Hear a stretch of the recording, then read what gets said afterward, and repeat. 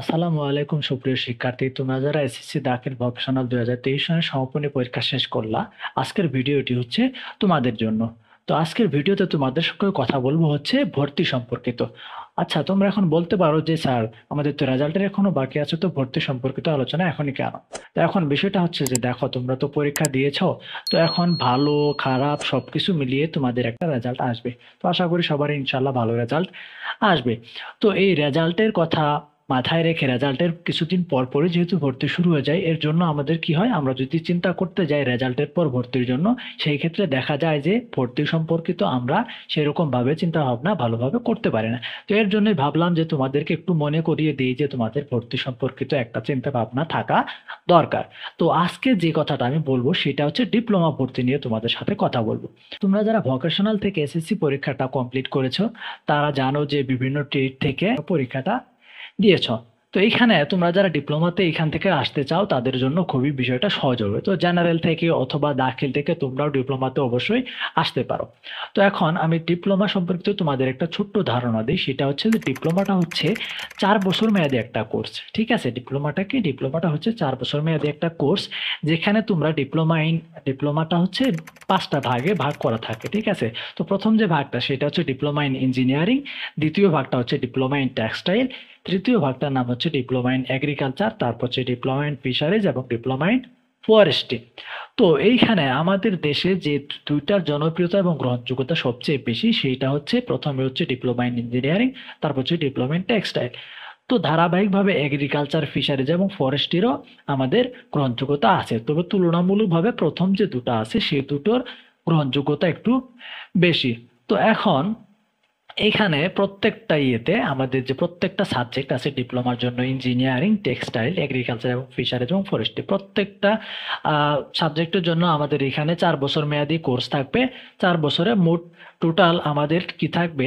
চার বছরে আমাদের টোটাল আটটা সেমিস্টার কমপ্লিট করতে হবে। মানে হচ্ছে যে বছরে দুইটা করে সেমিস্টার তো প্রথম এক থেকে সাতটা সেমিস্টার আমাদেরকে কলেজ থেকে পড়াশোনা কলেজে পড়াশোনা করতে হবে প্লাস হচ্ছে যে বোর্ডে এক্সাম দিতে হবে, ঠিক আছে? এবং আমাদের লাস্টে যে সেমিস্টারটা থাকবে, অষ্টম যে সেমিস্টারটা সেই সেমিস্টারটা হচ্ছে আমাদের ইন্ডাস্ট্রিয়াল ট্রেনিং যেটা হচ্ছে যে আমাদের স্যাররা, আমরা যে যে বিষয়ের উপরে আমরা কি করব ডিপ্লোমা ইন ইঞ্জিনিয়ারিং বা ডিপ্লোমা ইন টেক্সটাইল যেটাই বলো, যে যে যে বিষয়ে আমরা ডিপ্লোমাটা কমপ্লিট করব, সেই বিষয়ের উপর আমাকে একটা ইন্ডাস্ট্রিতে ছয় মাসের জন্য ট্রেনিং করাবে। ঠিক আছে, ছয় মাসের জন্য আমাকে কাজে দিবে। তো সেই যে লাস্ট সেমিস্টারটা সেটা হবে আমাদের অষ্টম সেমিস্টার ঠিক আছে? সেটা হচ্ছে আমাদের বাস্তব প্রশিক্ষণটা। তো এই হচ্ছে টোটাল আটটা সেমিস্টার সাতটা হচ্ছে কলেজে কমপ্লিট করতে হবে এবং লাস্ট যেটা, সেটা আমাদের বাস্তব পরীক্ষণের মাধ্যমে কমপ্লিট করতে হবে। তো এই হচ্ছে, এই ছিল আমাদের ডিপ্লোমা সম্পর্কিত ছোট্ট একটি ধারণা।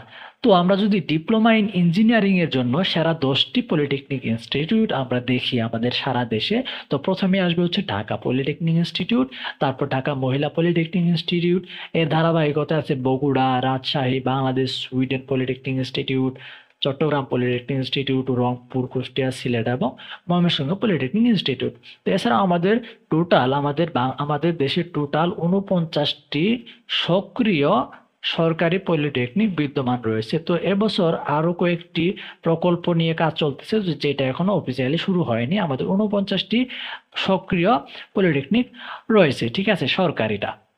তো বেসরকারি বিভিন্ন ধরনের পলিটেকনিক ইনস্টিটিউটও আছে। তো আমরা আপাতত সরকারিটা, এই এই যে তোমরা ডিসপ্লেতে যে দশটা নাম দেখতে পাচ্ছ, এটা হচ্ছে সারা মানে বাংলাদেশে সেরা দশটা আমাদের কি পলিটেকনিক ইনস্টিটিউট তো এইখানে তোমরা যদি ডিপ্লোমা ইন ইঞ্জিনিয়ারিং নিয়ে পড়তে চাও তাহলে তোমাদের ডিপ্লোমা ইন ইঞ্জিনিয়ারিং যে যে বিষয়গুলো থাকে, সেই বিষয়গুলোর পাঁচটা সেরা বিষয় মানে সেরা পাঁচটা বিষয় আমি তোমাদেরকে একটু দেখাই, দেখো।